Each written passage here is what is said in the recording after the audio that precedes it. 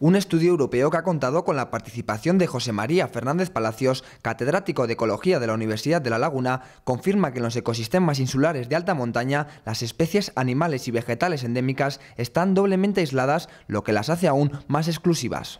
Las islas altas tienen un ecosistema exclusivo que no tienen el resto de las islas ya erosionadas, que es el ecosistema de alta montaña. Eso es un sumando que evidentemente hace que las islas elevadas tengan un plus de biodiversidad, tienen ecosistemas exclusivos con especies exclusivas que solo se dan en ecosistemas presentes en islas aún no desmanteladas. Las islas a lo largo de los años cambian de forma y por tanto de especies. El doble aislamiento que sufren las especies en condiciones de alta montaña de las islas las hace únicas. El estudio demuestra que en las islas más altas se crean condiciones que aumentan la tasa de endemismos.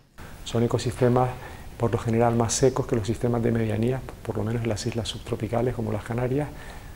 Los ecosistemas que están por encima de la influencia del mar de nubes son más secos y están sometidos a un estrés térmico e hídrico mucho mayor, por lo tanto tienen que aprender a guarecerse del estrés térmico, del estrés hídrico y ellos, junto con estas condiciones tan adversas, junto con el hecho de que los ecosistemas de alta montaña son muy efímeros en el tiempo y en el espacio, las hace ser especies muy particulares.